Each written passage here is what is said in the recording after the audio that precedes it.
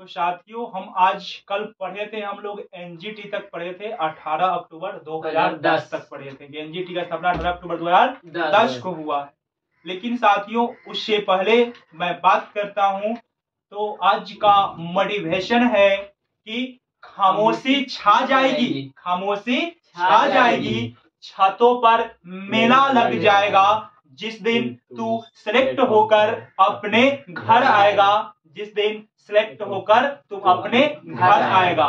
तो साथियों धुआँ धुआँ उड़ा देना है पर्यावरण को। तो इस जुनून को कम नहीं होने देना है क्योंकि मोटिवेशन ही जुनून ही पढ़ाई को करवाता है। हम लोग नहीं पढ़ते मेरा जुनून पढ़ता है। तो इसलिए मैं साथियों पहला बात करता हूँ तो आपको बताया ही हूँ कि एनजीटी की स्थापना 18 अक्टूबर 2010 को हुआ था।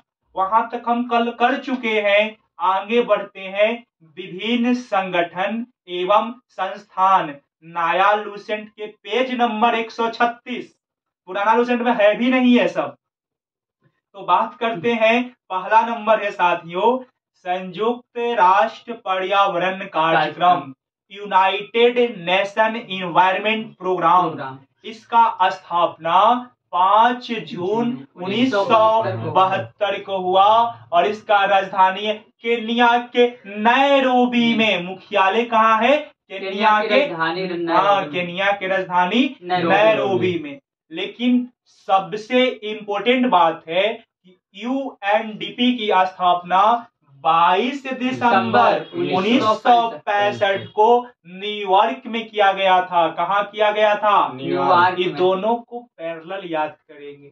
यू एन डी पी उन्नीस New York York. U N E P environment से है केनिया के नैरोबी।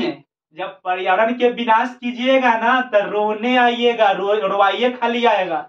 इसलिए जो भी लोग देख रहे हैं तो पेड़ ज़रूर लगाइएगा ताकि मेरा पर्यावरण बचे बैलेंस रहे। तो यू एन ई पी बताइए कब हुआ मेरे भाई? पाँच जून उन्नीस सौ बहत्तर। और यू एन डी पी बाईस दिसंबर उन्नीस सौ पैंसठ। अब सेकेंड पर है राष्ट्रीय पर्यावरण अभियांत्रिक शोध संस्थान। इतना लंबा नहीं आता।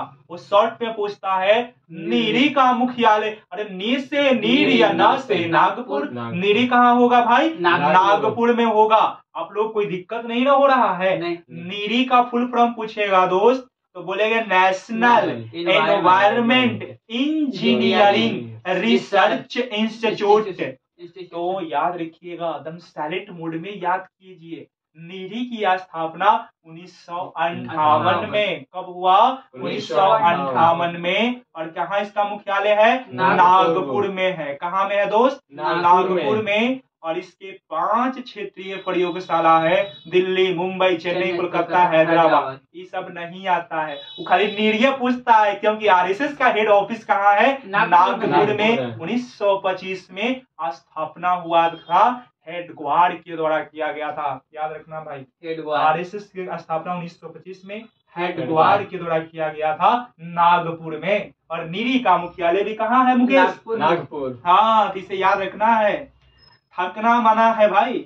और आगे की मैं बात करता हूँ इसकी स्थापना का मुख्य उद्देश्य क्या है? वाटर सप्लाई और sewerage plan. Water supply sewerage plan. एवं औद्योगिक प्रदूषण से संबंधित बीमारियों के रोकथाम के लिए शुद्ध एवं विकास। अरे भैया इन्वायरमेंट के बाद तो यही सब ना करेगा। हो और हाँ, क्या ही करेगा? वाटर सप्लाई या सीवरेज का ही बात करेगा भाई। बीमारी मारी को रोकथाम के लिए है। हम्म। और याद रखना मेरे भाई ये किस मंत्रालय का अधीन काम करता है? विज्ञान एवं प्रौद्योगिकी मंत्रालय। के अधीन काम करता है। इसे अवश्य याद रखना मेरे भाई। और आगे आते हैं राष्ट्रीय पर्यावरण प्राधिकरण एन ई ए इसका पूरा नाम राष्ट्रीय पर्यावरण अपीलीय प्राधिकरण है और इसकी स्थापना राष्ट्रीय अपीलीय प्राधिकरण अधिनियम उन्नीस सौ संतानवे के तहत की गई। पूछेगा सीधे राष्ट्रीय पर्यावरण प्राधिकरण की स्थापना कब किया गया? किस अधिनियम? उन्नीस सौ और आप लोग कमेंट बताइए कल हम पढ़ाए थे रियो प्लस फाइव कहाँ हुआ है? कल पढ़े होंगे तो आप ज़रूर कमेंट में उत्तर दीजिएगा। उम्मीद है कि आप ज़रूर उत्तर दीजिएगा। हम आगे मैं बढ़ता हूँ भाई। इसका गठन वन एवं पर्यावरण मंत्रालय के द्वारा किया गया है। और इसका स्थापना का उद्देश्य क्या है? पर्यावरण संरक्षण अधिनियम उन्नीस सौ छियासी के तहत क्षेत्र के प्रतिबंध हेतु किसी भी उद्देश्य संचालन या प्रक्रियाओं की श्रेणी के संबंध में अपील की सुनवाई करना। अरे प्राधिकरण है तो सुनवाई तो होगा। क्या होगा? सुनवाई किया जाएगा। और ये गठन कब हुआ? उन्नीस सौ संतानवे में। कब हुआ भाई? उन्नीस सौ संतानवे में। पर्यावरण से संबंधित जो भी होगा आप इसी में जाकर क्या कीजिएगा? केस कर दीजिएगा प्राधिकरण अपील करेंगे कहाँ पर जाके? राष्ट्रीय अपीलीय प्राधिकरण में। ये ग्यारह साल बाद मन में आया कि कर देना चाहिए नहीं? हम्म। अपील। तो अपील करेंगे संतानवे में पर्यावरण संरक्षण उन्नीस सौ छियासी में। अब आते हैं दोस्त विश्व मौसम विज्ञान संगठन। विश्व मौसम विज्ञान संगठन।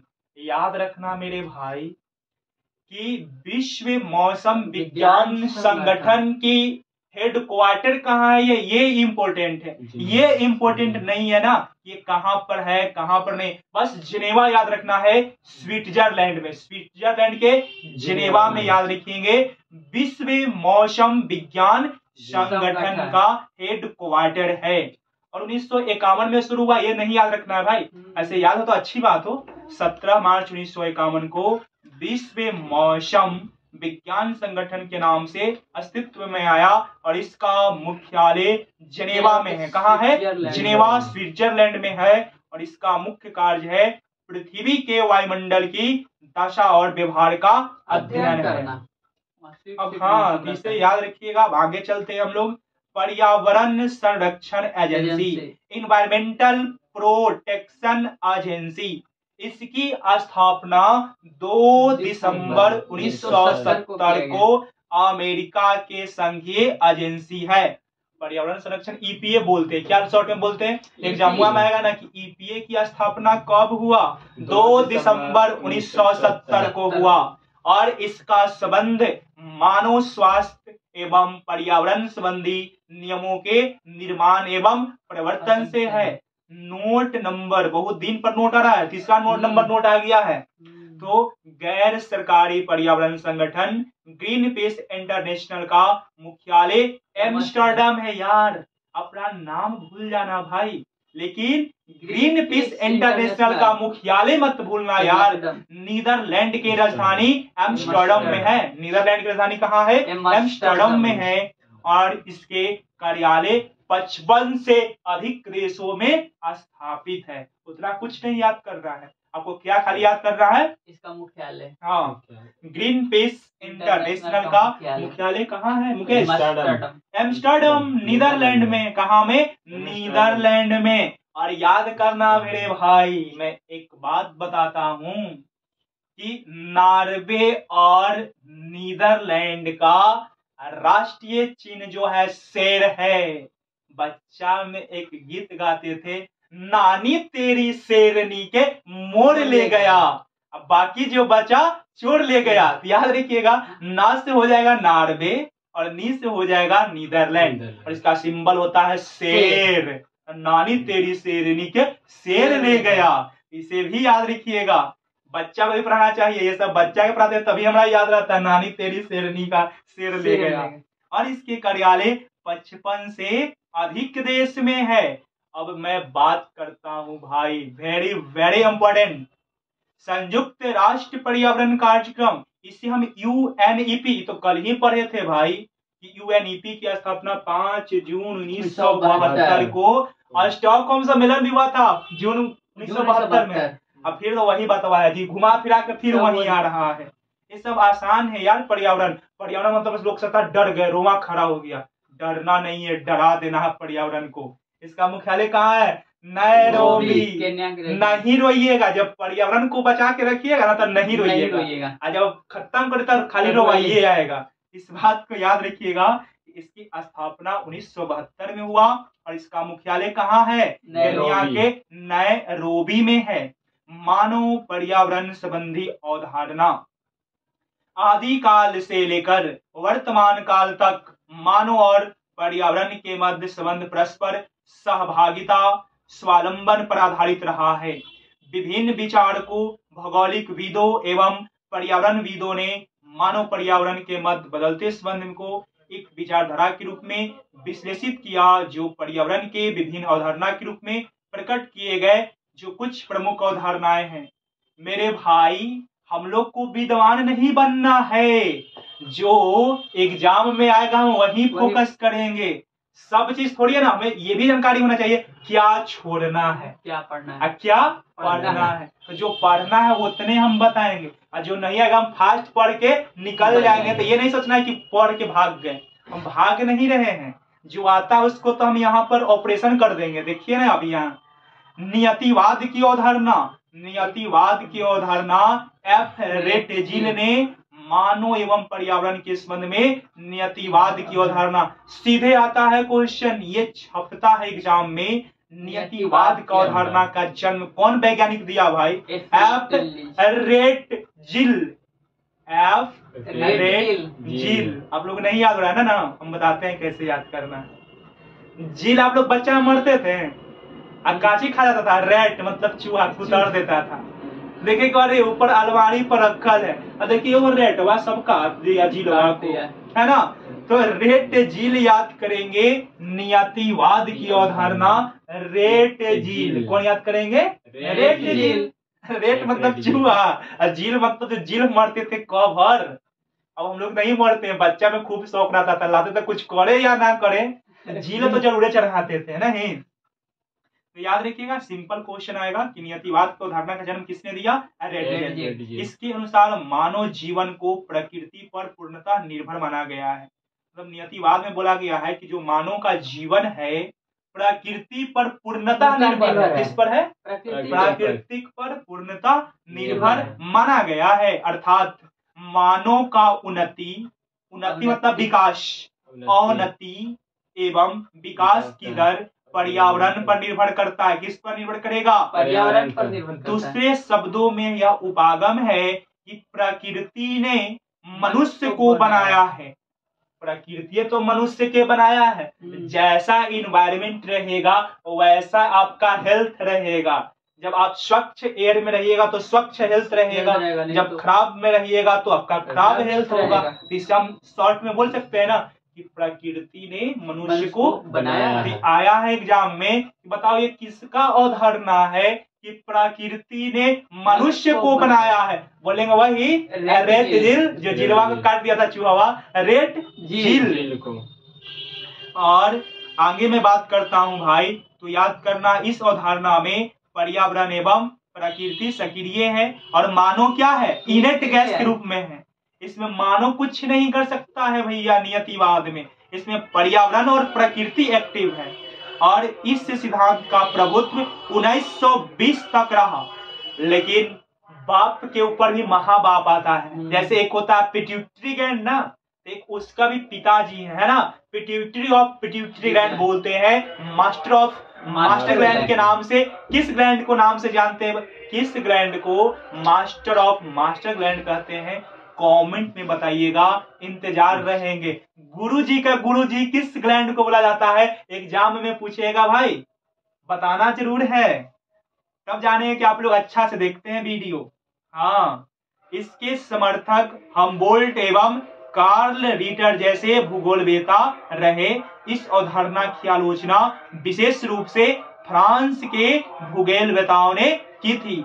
मतलब आलोचना कौन देश वाला कर दिली हो? फ्रांस वाला बोला।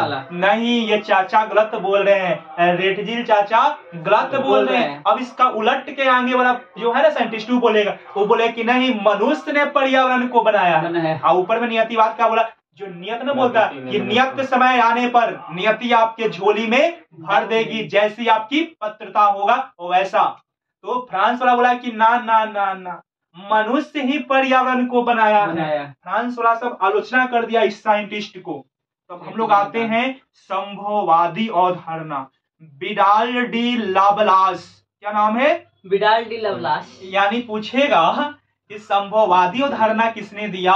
तो बोलेंगे बिडाल डी लवलास जानते हैं। एगो मेरा दोस्त था। ओकरा हमेशा बेचारा होता था टाइफाइड। क्या होता था? टाइफाइड। उसको दस बार हुआ और उसका हो गया डेथ। उसका क्या हो गया? हो हो गया गया डेथ बोले कि वो जाके लावेलाई हॉस्पिटल में से लाश। तो उसको बिडाल परीक्षण हम करवा दिए थे और बेचारा डेथ कर गया। तो लाने गए थे उसे पीएमसीएच से। तो बोलेंगे बिडाल डी लावे गए थे लाश को। तो बिडाल डी लाबलास किस अवधारणा? संभववादी। अवधारणा। कौन है भैया? संभववादी। हाँ। तो देखिए ये इसका जस्ट उल्टा होगा। नियतिवाद में ये बताया था कि पर्यावरण ही मनुष्य को बनाया है। पर्यावरण एक्टिव है और मनुष्य निष्क्रिय है। निष्क्रिय है। लेकिन ये उलट कर बाजी मारेंगे भाई। ये संभववाद अवधारणा को जन्म दिए और इस अवधारणा के समर्थक में ब्रुंज ईसा बोमेन ईसा फैब्रे और डिमांजिया वजह से भूल बेता थे। इसके अनुसार मानव को पर्यावरण का एक सक्रिय अभिकर्ता देखिए उसका उलट के बाजी मार दिया ना? वहाँ निष्क्रिय बोला था। अरे नियतिवाद में मनुष्य निष्क्रिय था। लेकिन संभववादी में मनुष्य क्या हो गया? सक्रिय। सक्रिय हो गया। मनुष्य जो है पर्यावरण को इतना परिवर्तित कर सकता है कि परिवर्तित पर्यावरण मनुष्य एवं उसके समाज हेतु अनुकूल हो जाए। यानी मानव प्रकृति पर विजय प्राप्त कर चुका है और उसमें हर प्रकार का परिवर्तन कर सकता है। ये भी सही है वो भी सही है। हम्म। लेकिन एग्ज़ाम में इतना नहीं कि साइंटिस्ट बनना है क्या? नहीं बनना है। सिंपल याद करना नियतिवाद के अवधारणा रैट जिल ने दिया था। और संभववाद हम सोचे भी नहीं थे कि मेरा दोस्तवा बिडाल मर जाएगा। और लाने पड़ेगा उसको हम बिडाल टेस्ट करवा दिए थे टाइफाइड के लिए होता लाने गए फ़ोन आया मेरे पास लाने जाइए लाश तो हम लेकर आ गए लाश। तो बिडाल डी लाभ लाश। बिडाल डी। लावलास और क्या बोला? बिडाल डी लावलास कि पर्यावरण के सक्रिय अभिकर्ता मनुष्य है। है। कौन है? मनुष्य है। तो उसका उलट करबाजी मरा। किसका? नियतिवाद के उल्टा हो गया संभववाद रेट जिल के उल्टा हो गया बिडाल डी लावलास और नोट में क्या दिया है भाई? संभववाद शब्द का प्रयोग सर्वप्रथम एल फैब्रे ने किया। कौन किया? एल फैब्रे ने। संभववाद शब्द का प्रयोग एल फैब्रे ने किया। ये पक्का छपेगा ये पूछा हुआ क्वेश्चन है। इसे हल्का मत समझिएगा। संभव है कि इसे याद कर लीजिए। एल फैब्रे क्या याद करेंगे? एल। फैब्रे अब आता है नव नियतिवाद क्या है मेरे भाई? नवनियतिवाद। ऊपर में था नियतिवाद। हम्म। यह है नव नियतिवाद इसमें बस साइंटिस्ट याद करेंगे यह अवधारणा दोनों ही अतिवाद अवधारणा को खंडन खंडन। करती है। Griffith Taylor and O H K Spate जैसे भूगोलवेता ने प्रकृति के एक पक्षीय दोहन का आलोचना की और बताया कि प्रकृति का अत्यधिक दोहन विनाशकारी हो सकता है। इन्होंने प्रकृति के संदर्भ में स्टॉप रुको और जाओ की नीति अपनाने की कहा एवं बताया कि प्रकृति की अपनी सुंदरता है अपनी सीमाएँ हैं। अतः हमें चाहिए कि हम प्रकृति को समझने का प्रयास करें। उसके बाद अपने विकास नीतियों का निर्धारण करें। वस्तुतः टिकाऊ या सतत विकास नव नियतिवाद का अवधारणा से ही संबंध रखता ये भाई वह जानता है कुछ आता ही है ये जाते। एक दिन जानते हैं सेटवा में पूछा ना कि रुको और जाओ। की अवधारणा कैसा अवधारणा है? नियतिवाद। है संभववाद है नव नियतिवाद है। बोलेंगे नव नियतिवाद है। रुको और जाओ। रुको और जाओ। नव नियतिवाद की अवधारणा। सिंपल क्वेश्चन आता है। स्टॉप एंड गो की नीति कौन सा बोलेंगे नैका में है नव नियतिवाद में। किसमें है? नव नव नियतिवाद। नियतिवाद में। और दो भूगोल वेता कौन थे? ग्रिफिथ टेलर और ओ एच के नहीं याद रहेगा तो काम चलेगा। मेन याद करना है रुको और। जाओ। रुको न तो जाओ। नव नियति वेद में बोला गया है ऐसा है ना? तो इसे भी याद रखना है। अब है सांस्कृतिक निश्चयवाद की अवधारणा। सांस्कृतिक निश्चयवाद के जनक प्रो कार्ल ओ सावर थे बहुत इंपॉर्टेंट है। सांस्कृतिक निश्चयवाद के अवधारणा professor Carl O Sauer Carl O. Sauer.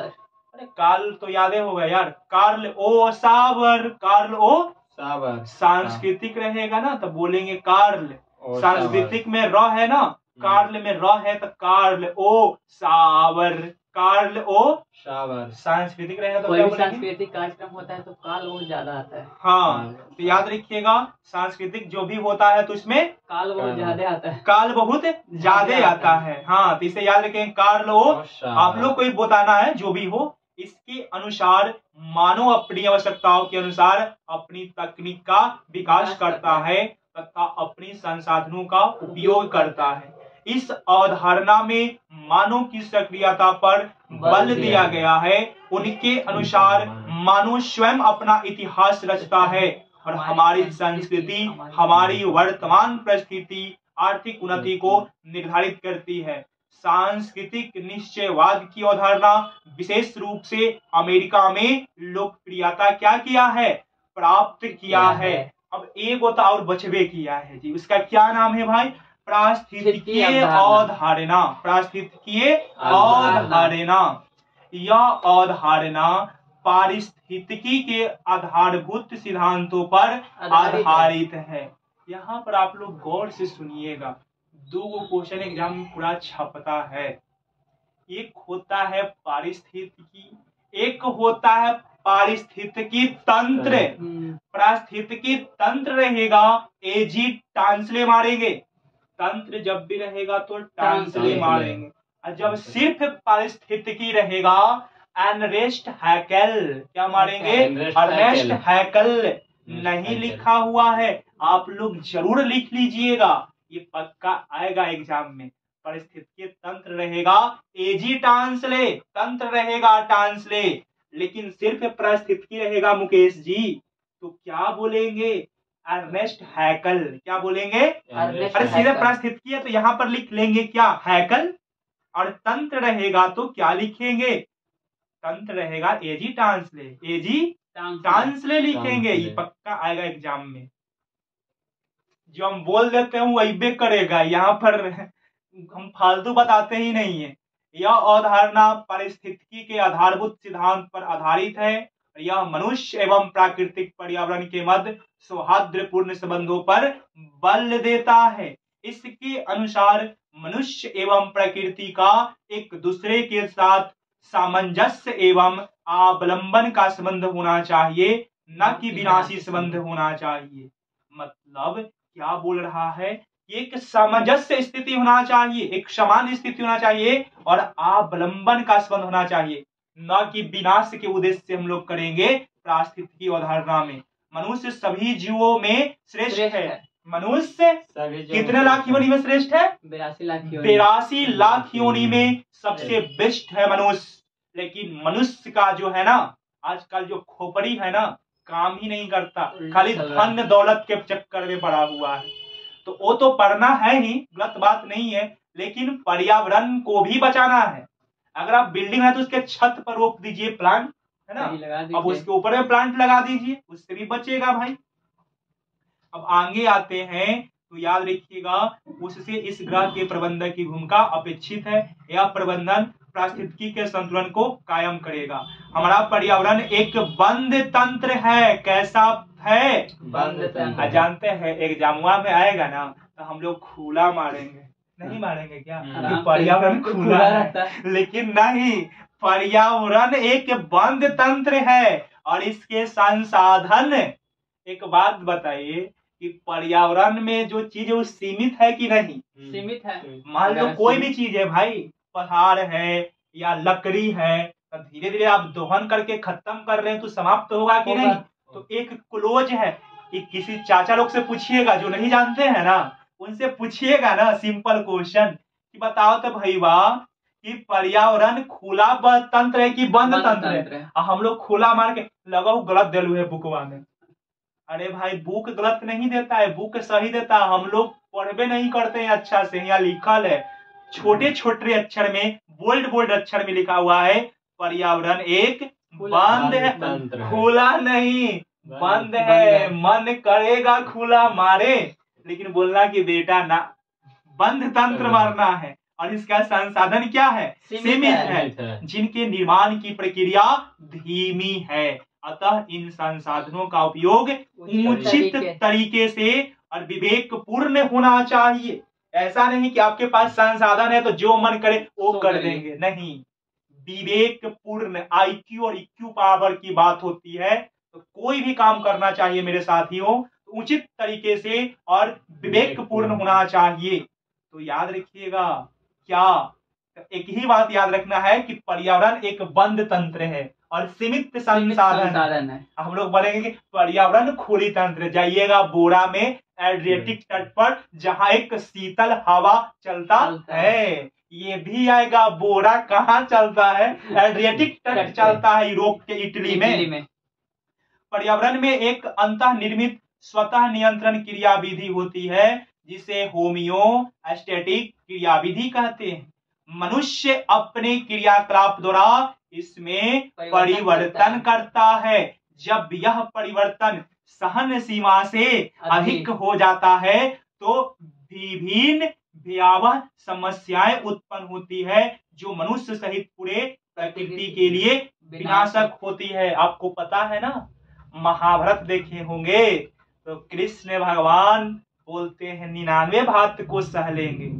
जैसे ही सोमावर गाली दिया गया निकाले सुदर्शन चक्र और मूड़ी को खामोश कर दिए। तो याद रखिएगा उस तरह से पर्यावरण है। अब इतना भी मत दोहन कर दीजिए कि हम लोग के यहाँ भूकंप आ जाए।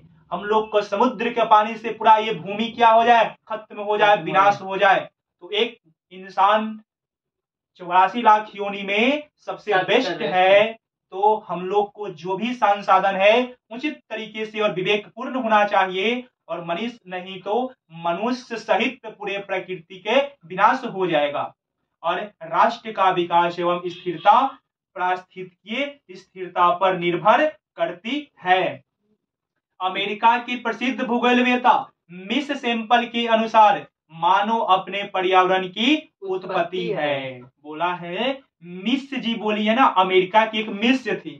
नाम था मिस सैंपल। मिस सैंपल क्या बोली? मानव अपने पर्यावरण की उत्पत्ति है।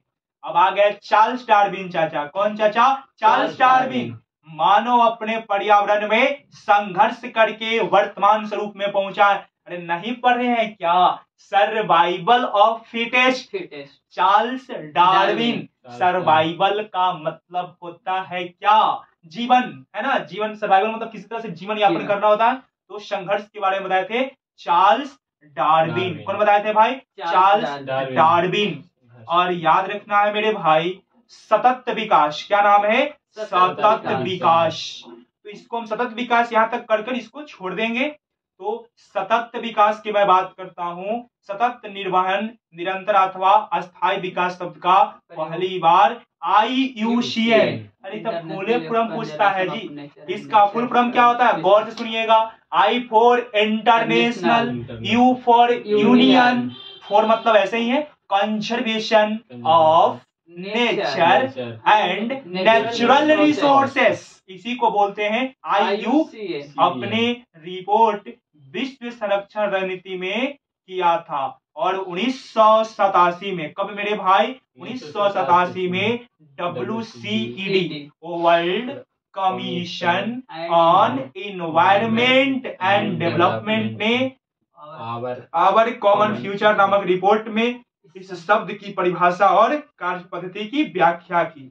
जिसे कि यूएनओ ने स्वीकार कर लिया। और यूएनओ की स्थापना कब हुआ है मेरे भाई ज़रूर बताना है कमेंट बॉक्स में।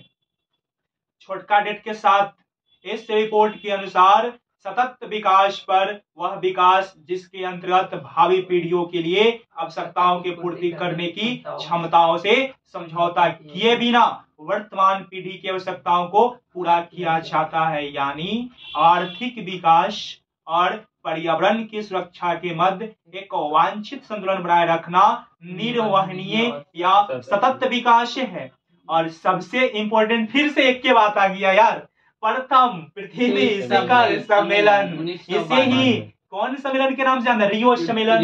एजेंडा 21 के नाम से जानते हैं। और सतत विकास के प्रति पूर्ण समर्थन व्यक्त किया गया। उन्नीस सौ बानवे में हुआ ना एजेंडा 21 वन? ये तो सबको पता ही है। अब प्लस एजेंडा 21 उन्नीस सौ बानवे में अब 20 साल जुड़ेंगे तो फिर आ जाएगा क्या? रियो। रियो। 2012 में तो फिर वही तो लिख रहा है जी कि 2012 के रियो 20 रियो 20 मतलब उन्नीस सौ बानवे में 20 साल जोड़ देंगे तो हो जाएगा है ना? रियो 20 सम्मेलन में घोषणा पत्र का शीर्षक द फ्यूचर वी वांट था। इस सम्मेलन में भारत ने हरित अर्थव्यवस्था को प्रोत्साहित करने की आवश्यकता पर बल दिया था। नॉट इज़ कॉस्टली गौर फरमाइएगा। सतत विकास अस्थायी विकास की अवधारणा के सर्वप्रथम प्रतिपादक ब्रंट लैंड उन्नीस में किया। अरे सतत सतासी सतत कब होगा? सतासी। अब ब्रंट लैंड क्या नाम है? ब्रंट मतलब भोथर। ब्रंट मतलब क्या होता है? देखो होता एक नंबर के भूत है कुछ याद ही नहीं होता है। तो याद कर लेना है कि ब्रंट ब्रंट लैंड लैंड होगा सतत विकास सतासी। सतत विकास? सतासी। आप पड़ोसी से पूछ लीजिएगा वो नहीं बताएगा। पूछिए कि बताओ तो भाई सतत विकास कब? तू तो ब्रंट लैंड है ना वो तो भोथरा है। तू नहीं बताएगा सतत विकास। सतत विकास उन्नीस सौ सतासी। और अस्थाई विकास प्राकृतिक संसाधनों के उपयोग के संदर्भ में अंतर पीढ़ीगत संवेदनाशीलता की घटक हाँ। है अब मैं दो मिनट समय लूँगा भाई और पूछ लेता हूँ आप लोग बताइए कि पारिस्थितिकी रहेगा तो क्या होगा रजनीश? पारिस्थितिकी का खोज कौन किया? है कल ने किया। कौन किया है? हैकल। हैकल ने किया है और पारिस्थितिकी तंत्र रहेगा टांसले। और मेरे भाई बताओ तो भाई सिंपल क्वेश्चन है। सतत विकास सतत विकास जो है कौन दिया? ब्रंट लैंड बोथरा आदमी दिया है ना? तो इसको हम यहीं पर इंड करते हैं। ज़रूर भाई बताना लाइक शेयर सब्सक्राइब अवश्य करना। धन्यवाद।